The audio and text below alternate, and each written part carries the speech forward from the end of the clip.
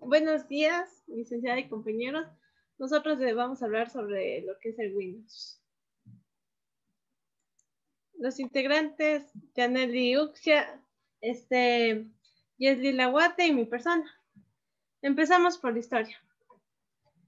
El sistema operativo Windows desde sus inicios a la actualidad. 1975-1981, inicio de. Microsoft. La compañía fue fundada en 1975 por William H. Gates III y Paul A. Allen. Ambos se habían conocido durante su época de estudiantes por su afición común a programar con la computadora PDP-10 digital. Equipment Corporation. Pocos han oído hablar de las microcomputadoras pero dos jóvenes apasionados de la informática, Bill Gates y Paul Allen, perciben que la, informática personal es el camino hacia el futuro. Su idea es que en cada hogar haya un escritorio con un equipo personal. Ese mismo año, Popular Electronics decidió su portada y un artículo al Altair 8800, la primera computadora personal. Ese artículo animó a Gates y a Allen a desarrollar la primera versión, la primera versión del lenguaje BASIC para este equipo. El lenguaje fue un éxito y múltiples empresas compraron las licencias con el dinero ganado, fundaron la base en Albuquerque, Albuquerque, Nuevo México. No tardaron en llegar nuevas versiones de BASIC un segundo producto llamado Microsoft Fortran, otro lenguaje de programación y con todo ello pronto sacó versiones del lenguaje BASIC para los microprocesadores 8080 y 80086. Este, esta primera versión de MS2 soportaba 16 kilovatios de memoria RAM, disquetes de 5 dos pulgadas de una sola cara de 160 kilovatios e incluía ya 22 órdenes. Además de incluir ya el intérprete de comandos command.com y manejar archivos con extensiones.com y .exe. En 1981, tras comenzar a, comercializar, a comercializar los IBM con MS2, los usuarios descubrieron el uso de la, tecla de la barra invertida, que es el slash. MS2 nos acompañó desde 1981 con la versión 1.0 hasta el año 2000 con la versión 8.0, que estaba incluida en Microsoft Windows Millennium Edition. En ese intervalo ya casi de casi 20 años fue incluyendo nuevas funcionalidades y ampliando sus capacidades MS2 2.0 1983 aportó el soporte para discos duros. MS2 2.11 incluyó el soporte para LAN y MS2 6.0. 1993 llegó con el desfragmentador de disco o el antivirus MSAB y MS2 6.22. Fue la última versión de MS2 que se distribuyó por separado ya que las sucesivas versiones MS2 7.0 y MS2 8.0 vendrían integradas en Windows 95, Windows 98 y Windows sucesivamente. Windows 1.0. MS2 era eficaz pero de difícil comprensión para algunas personas, por lo que casi cuatro años más tarde Microsoft lanza Windows, aunque fue llamado inicialmente Interface Manager. Finalmente se le cambió el nombre porque describe mejor los cuadros y las ventanas informáticas que resultan fundamentales en el sistema. La interfaz inicia sufrió un cambio tras el Apple Lisa, un experimento de Apple, por crear un interfaz gráfico de usuario esta amplia las, este amplía las presentaciones de MS2 e incorpora una interfaz gráfica de usuario. Ahora en el lugar de escribir comandos es posible desplazarse entre, entre pantalla o ventana, moviendo el mouse y señalando lo que se quiere. las siguientes fueron las principales características de Windows 1.0. Interfaz gráfica con menús desplegable, ventanas en cascada y soporte para mouse, gráficos de pantalla e impresora independientes del dispositivo, multitareas cooperativas entre las aplicaciones Windows. Windows 1.0 requiere como mínimo 256 kilovatios y recomienda disponer de 512 kilovatios. Windows 2.0 en diciembre de 1987 sale al mercado Windows 2.0 con, sus características más importantes. Fueron el soporte de archivos PIF para aplicaciones 2 y la opción de superponer ventanas, controlar el diseño de la pantalla y los métodos abreviados de teclado. Será el primer Windows que incorpore el panel de control presente hasta la actualidad. Nacen aplicaciones como Excel, Word, Windows y CorelDRAW, etc. Los primeros programas basados en Windows. Este sistema operativo está diseñado para el procesador Intel 286, por lo que al salir al mercado el 386 se publica Windows 386 para aprovechar sus, sus funcionalidades de memoria extendida. Esta nueva característica permitía múltiples máquinas virtuales 2 con multitarea. Windows 3 3.0.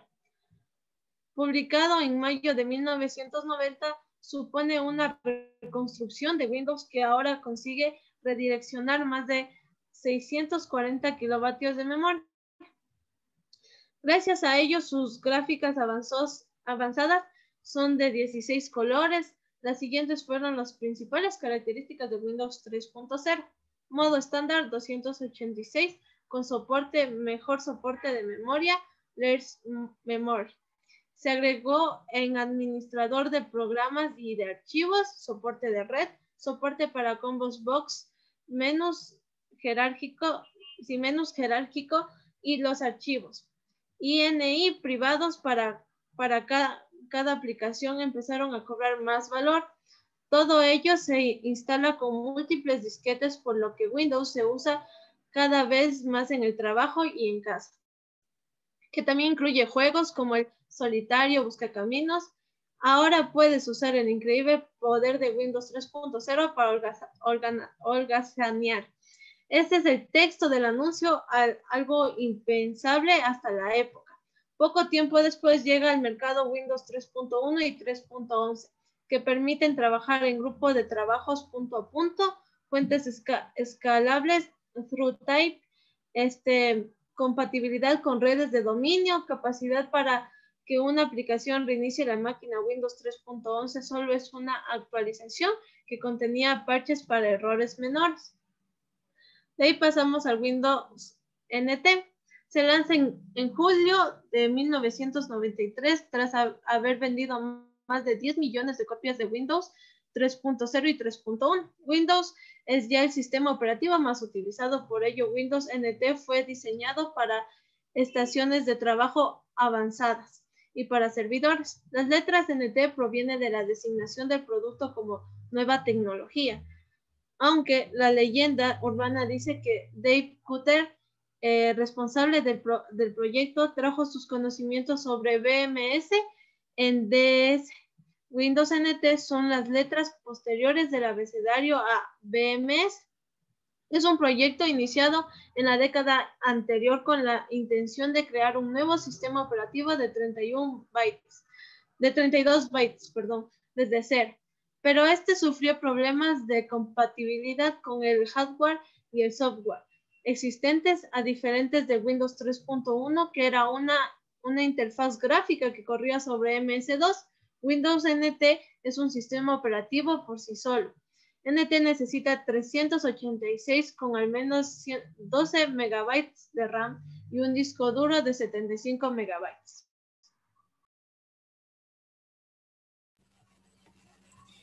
Windows NT 3.1. Inicialmente estaba destinado a ser una versión de un sistema operativo creado entre Microsoft e IBM, Cuando desde Microsoft vieron el éxito, decidió abandonar la colaboración con IBM y lanzó al mercado reutilizándolo como Windows NT. Por primera vez se dio soporte para el sistema de ficheros NTFS, pero se haría realmente efectivo hasta la llegada del Windows 2000. Podía correr con microprocesadores Intel por 86, DS Alpha, MIPS, R4000. Windows NT 3.5 o 3.51, publicado a finales de 1944. Microsoft da el salto a la arquitectura PowerPC, manteniendo la, arquitectura de Intel por 86. Uno de los principales objetivos era aumentar la velocidad del sistema operativo. Inicialmente se llamó Proyecto Daytona, en honor al circuito de carreras de Estados Unidos, incorporado un año llamado NeuCell, que no era más que la versión beta de la nueva interfaz gráfica de Windows 95 y NT 4.0. Windows NT 4.0 Windows NT 4.0 fue la cuarta versión del sistema operativo de Microsoft Windows NT, lanzado en 1996. Su interfaz es similar a la de Windows 95 y es un sistema de 32 bytes. Durante su etapa de desarrollo tiene el nombre de Cairo. Presenta novedades como el soporte para diferentes plataformas, como MIPS, Alpha, Intel, etc. Windows 95. El 24 de agosto de 1995, Microsoft lanza Windows 95, el cual supone un récord de ventas con 7 millones de copias en 5 semanas. Es el lanzamiento más publicitado en Microsoft. Durante su desarrollo se conoció como Windows 4 o también llamado Chicago. En esta época empezó a surgir el correo electrónico, los faxes, modems y los juegos multimedia. Windows 95 tiene compatibilidad integrada con Internet, conexión de red por acceso telefónico y nuevas funciones plug and play que facilitan la instalación de hardware y software. Es un sistema operativo con interfaz gráfica de usuario de 16 y 32 bytes. Ofrece múltiples mejoras, características más eficaces para equipos informáticos, móviles y redes integradas. Windows 2000 se puso en circulación el 17 de febrero de 2000, conocido durante su desarrollo como NT 5.0 es una versión útil para los administradores del sistema. Tuvo éxito tanto en el mercado de los servidores como en de las estaciones de trabajo. Es un sistema operativo para empresas y algunas tareas que puedan realizar son crear cuentas de usuarios, asignar recursos y privilegios como actuar como servidores web, FTP, servidor de impresión, DNS, DHCP, etc. Su principal punto de fuente es el Active Directory, herramienta desde la cual se puede administrar toda la infraestructura de una organización. Windows 2000 Profesional estaba destinado a ser para estaciones de trabajo. Windows 2000 Server estaba destinado a ser servidor de archivos de impresión web FTP. Es ideal para cuando no se requiere de un servidor dedicado a cada tarea o departamento y de esta manera todo tener centralizado en un solo servidor. Windows 2000 Advanced Server está orientado a empresas medianas o grandes que tienen un mayor número de usuarios de red. Ofrece una infraestructura completa de clústeres para alta disponibilidad y escalabilidad y admite multiprocesamiento simétrico de 8 vías. Windows 2000 Data Center Edition es una versión de primer nivel especializada para Windows 2000 Server que admite multiprocesamiento simétrico de 32 vías y hasta 64 GB de memoria física. Está destinado a servidores muy potentes para manejar grandes volúmenes de datos y para ISP a gran escala y alojamientos de sitios web. Windows Me. Fue lanzado el 14 de septiembre del 2000. Es un sistema operativo gráfico y vírico de 16 a 32 bits.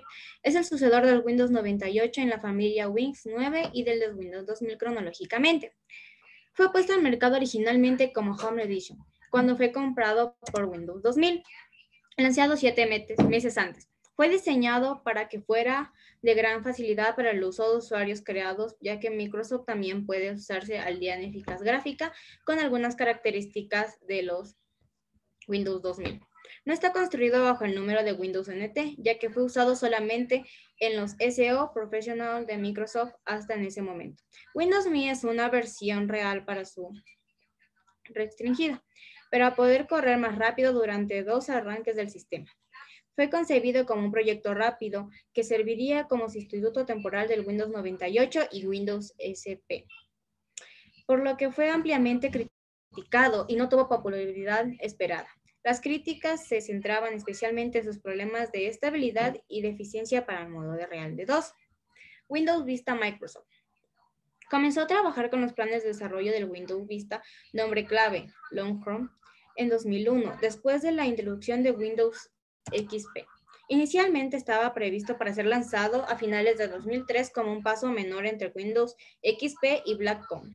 El proceso de desarrollo terminó el 8 de noviembre del 2006 y en los siguientes tres meses fue entregado a fabricantes de hardware y software, clientes de negocios y canales de distribución iniciados hacia un número sin precedentes en pruebas beta del programa. Windows 7. El Windows 7 es la versión más reciente del Microsoft Windows, línea de sistemas comparativos producidas por Microsoft Corporation. Esta versión fue diseñada para uso de PC, incluyendo equipos de escritorio, hogares y oficinas, equipos portátiles, tablets PC, network y equipos de media center. El desarrollo en este sistema operativo comenzó inmediatamente después del llamado lanzamiento de Windows Vista. En el 20, en el 20 de julio de 2007 se reveló que este sistema corporativo llamado internamente como Microsoft como la versión 7, hasta en ese momento la compañía había declarado que Windows 7 debía soporte para plataforma de 32 bits y 64 bits, aunque la versión para servidores que comparten un mismo núcleo Windows Server 2008 R2 que sucede a Windows Server 2008 sería exclusivamente de 64 bits. El 13 de octubre del 2008 fue anunciado que Windows 7, además de haber sido uno de tantos nombres de código, sería nombre oficial de este nuevo sistema operativo. Mike Nash, vicepresidente de la estrategia de plataformas Windows de Microsoft, dijo que este debía ser Windows 7, o sea que se apunta a la simplicidad y el nombre debía ser reflejado. En el Windows 8, Microsoft ha afirmado oficialmente que los cambios introducidos en el Windows 8.1, la próxima actualización de Windows 8, nombre clave Blue, en la próxima entrega se han implementado muchos pequeños cambios, algunos impulsados por las críticas recibidas que conforman una nueva manera de hacer y funcionar el sistema operativo. Cambios que no solo van a cumplir con Windows 8, sino que trasladan la experiencia a uso de otra dimensión, la que debe haber tenido el Windows 8 desde el principio a tenor de los resultados y opinión de la comunidad. La tan careada vuelta de botón inicio. La recomendación del concepto de ventanas dentro del entorno moderno de UI. El protagonismo de la nube dentro del sistema, cambios faciales y estéticos, más y mejorados aplicaciones de series y herramientas de búsqueda muy potentes para el Windows 8.1 y un producto muy apetecible. Todas las novedades de Windows 8.1 son aquellas. Windows 10, que es el que todos tenemos actualmente. Windows 10 es el último sistema operativo desarrollado por Microsoft, aparte de la familia de sistemas operativos Windows NT. Fue dado a conocer oficialmente en septiembre de 2014, seguido por una breve presentación de demostración en la Confederada Build 2014. Entre fase beta de prueba en octubre de 2014 y fue lanzado en público en general el 29 de julio del 2015. Para animar su adopción, Microsoft anunció su disponibilidad gratuita a un año después de su fecha de nacimiento. Para los usuarios que cuenten con copias genuinas de Windows 7, Service Pack 1 o Windows 8.1 Octave, en junio del 2015 se habilitó una herramienta que permitiría reservar esta actualización. Dicha herramienta notifica a cada usuario en el momento que estaría lista la descarga de la actualización, pues su dispositivo, pero aún así instalarizar aplicadamente 10.240, eh, la primera versión estable liberada. Microsoft recibió el Windows 10 tanto en un sistema operativo como un servicio que puede recibir actualmente en un curso para una característica y funcionalidades. Además, con la habilidad de los entornos empresariales para recibir actuales no críticas en un ritmo más lento o un soporte más largo, plazo que recibe, que no solo recibe actualizaciones críticas, tales como parches de seguridad en el curso de vista de cinco años a partes general. Terry Merverson, vicepresidente ejecutivo de Windows and Advanced Grupo de Windows, demostró que las metas de este modelo fue recibir fragmentos de todas las plataformas de Windows, como Microsoft Protección con Windows 10 instalado con menos de mil millones de dispositivos en dos o tres años después de su lanzamiento. Y ahora les voy a mostrar los precios de la licencia de Windows. Aunque todas nuestras computadoras tengan el Windows, algunas que son compradas por, por segunda mano y sus licencias caducan, van variando de sus precios. Por ejemplo, en, Win, en el Windows 95, su licencia era de 2.000 ah, no, de 209,95 dólares y ahora es de 109,95 dólares. Y para ustedes podrán ser licencias que su precio es demasiado elevado para un pequeño sistema, pero en sus principios era algo que solo la gente con dinero se podía um, dar ese lujo.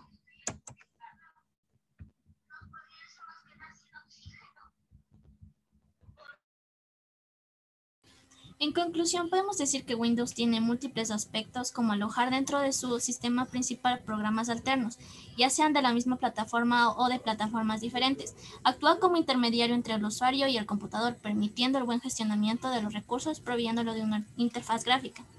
Muchas gracias.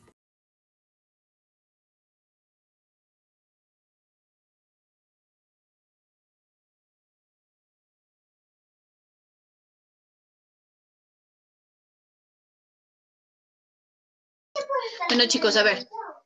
Interesante todo lo que nos han contado nuestras, nuestras compañeras. Ok, quienes estén en su computador, todo el mundo, todos los que estén en este momento en el computador, presten atención. Voy a compartir pantalla y quiero que todos me ayuden haciendo exactamente lo mismo que yo voy a hacer. Aquí, ¿ya? ¿Ya estamos?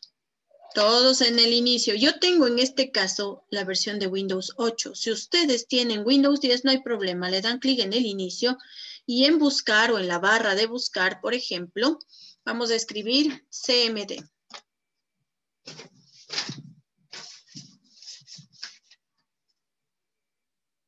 ¿Ya? Y debe aparecer esta ventana. Todos, por favor. CMD.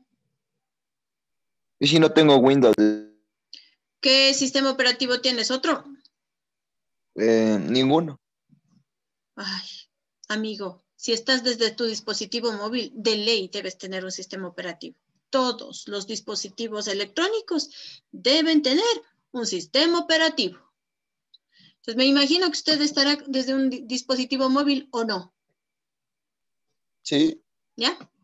Su dispositivo móvil debe tener un sistema operativo. Caso contrario, no, estaríamos, no estaría funcionando. Ok, presten atención. Esta ventana es la ventana de comandos de Windows. Esta era la forma de trabajar inicialmente.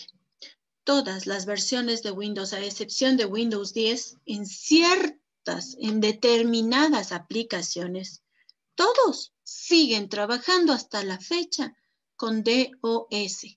Todas las versiones. No existe una que no haya utilizado como elemento base el sistema operativo DOS.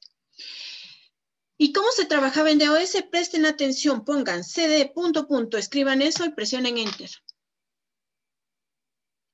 ¿Qué estamos haciendo? Estamos bajando de nivel. ¿Por qué? Porque estamos trabajando, miren acá por favor, estamos trabajando en el disco C, estoy dentro de usuarios, de la carpeta de usuarios, estaba dentro de la carpeta de mi carpeta que se llama en mi caso Verillo y yo salí. Ahora estoy en usuarios. Si vuelvo a escribir cd punto punto y enter, salgo a la carpeta C. Si en C escribo dir, me dice cuáles son los directorios, archivos o carpetas que yo tengo dentro de esa unidad C. Y la unidad C es mi disco duro. ¿Cómo usted manejaba esto? Así. Esto se llama modo consola. Y así se trabajaba con los sistemas operativos hasta antes de la aparición del famosísimo Windows. ¿Ya?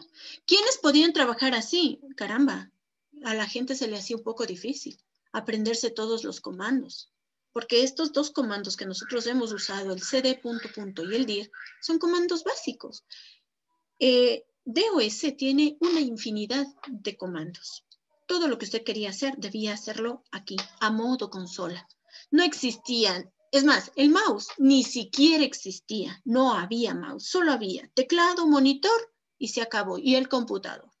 Entonces, si alguno de ustedes quería ingresar, a ver, miren por favor a mi pantalla. Supongamos, yo tengo aquí la carpeta Javi, que me dice es una carpeta creada el 25 de agosto del 2000 a las 12.57. Es un directorio es decir, es una carpeta y se llama Javi. Si yo quería ingresar ahí, ¿qué tenía que hacer? Ingresar a la carpeta por medio de comandos, ¿sí? Este es modo consola.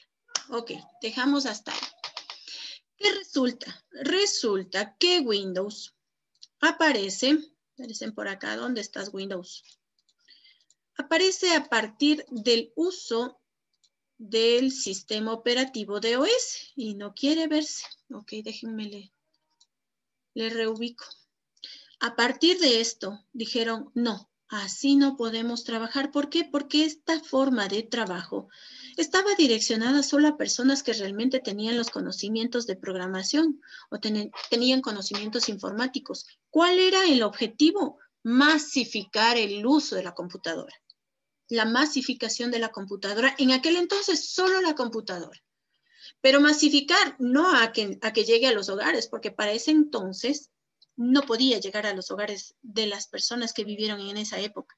En aquel entonces máximo y llegaba para universidades, instituciones estatales y demás. Entonces, ok, por aquí. Aparece esto, DOS 1981. A partir de aquí, alguien dice, ¿sabes qué? Arreglémosle, cambiémosle un poquito. Y aparece la primera versión de Windows, ¿ya?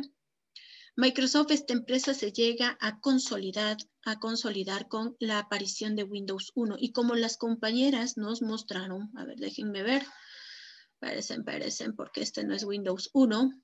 Windows 1 aparece así, con un manejo RGB. ¿Se acuerdan de los monitores cuando hablábamos del RGB? ¿Se acuerdan que les mencioné algunas veces qué significaba RGB? Red, green, red, blue, green, RGB. A ver, no sería red, green, blue. RGB, ¿correcto? Entonces, ¿qué pasa? Esta era la interfaz del primer Windows. ¿Había mouse? No había nada, amigos. Aquí nuevamente comandos. ¿Cómo saltábamos de un lado al otro con la tecla Tab? Fíjense en su teclado, todavía existe la tecla Tab. ¿Si le ven? Ok.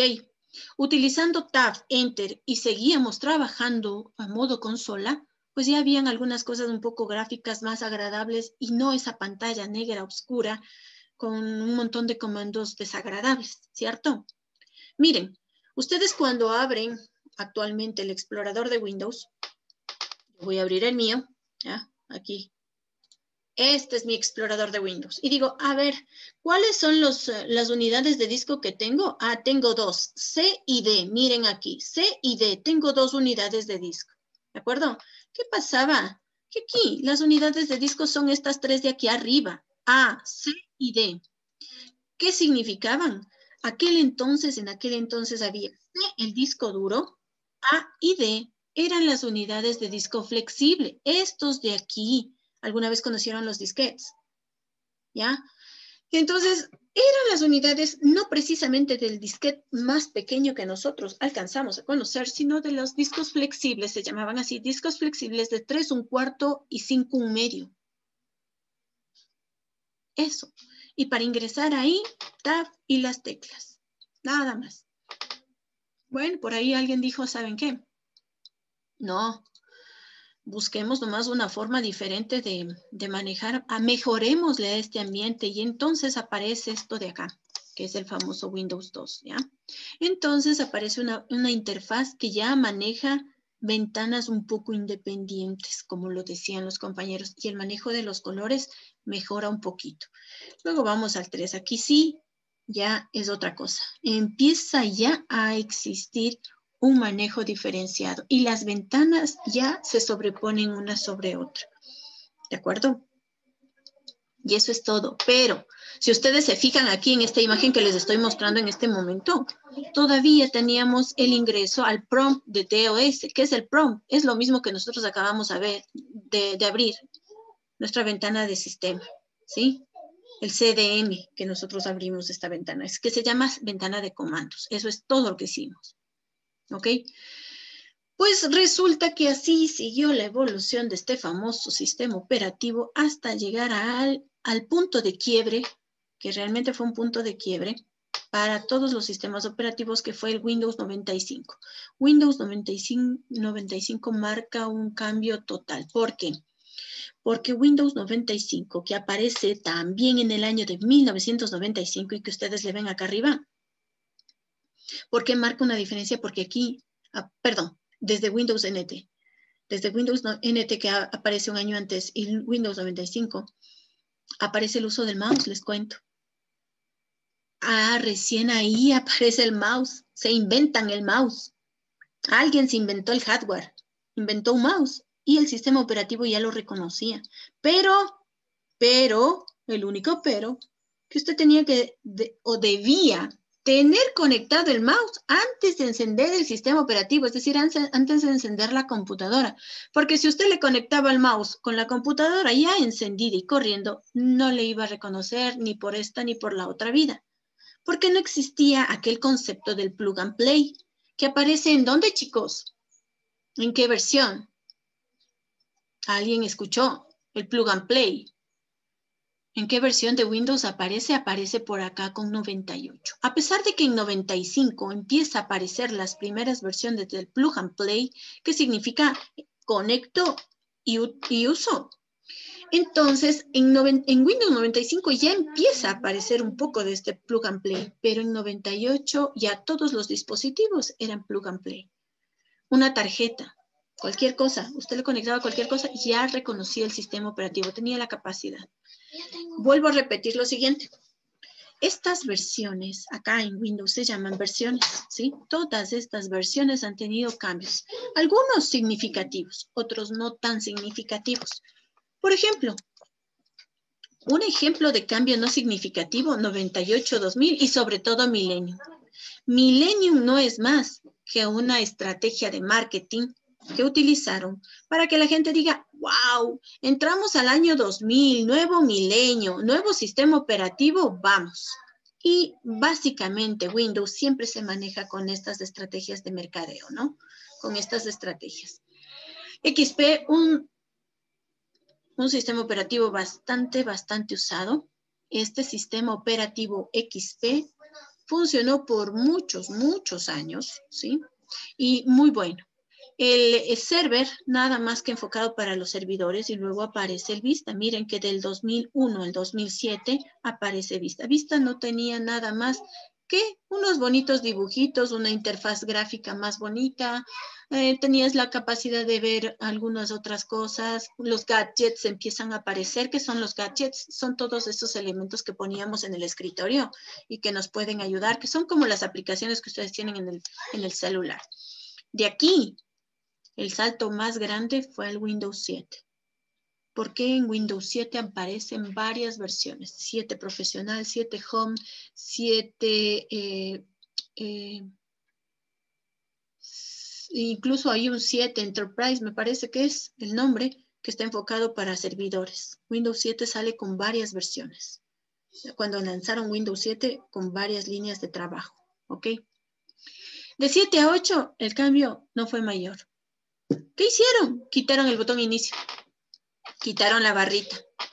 Y básicamente el Windows 8 aparece, ¿por qué? Porque aparecen las pantallas táctiles y se acabó. Eso fue todo. Eso fue todo. Pues resulta que no es muy estable y yo lo tengo. Y yo les puedo decir, no, o sea, sí es estable, pero no mucho. En todo caso, yo trabajé por muchos años con Windows 7 y les puedo decir que Windows 7, tres, eh, tres veces el Windows 8. ¿De acuerdo? Windows 8 aparece con esta novelería de las pantallas táctiles y las computadoras con pantalla táctil y de ahí sí la gente se dio cuenta de que teníamos algunos inconvenientes y nos fuimos al Windows 10.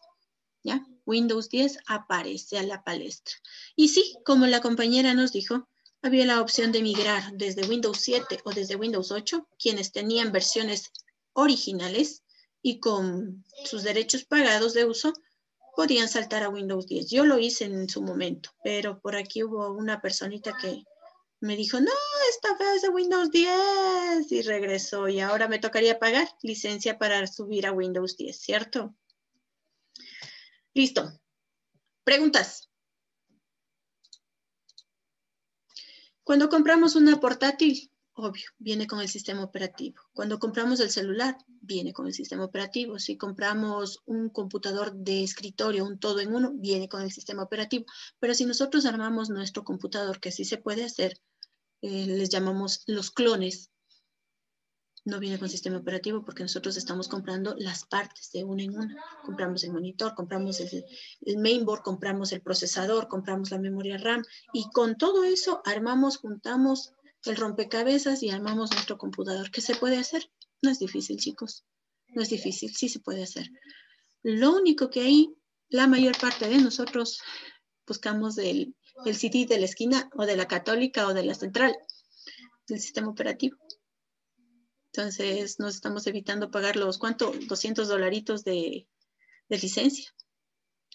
Eso es nada más. Listo. Nos vemos el jueves con, ¿qué cosa? Linux.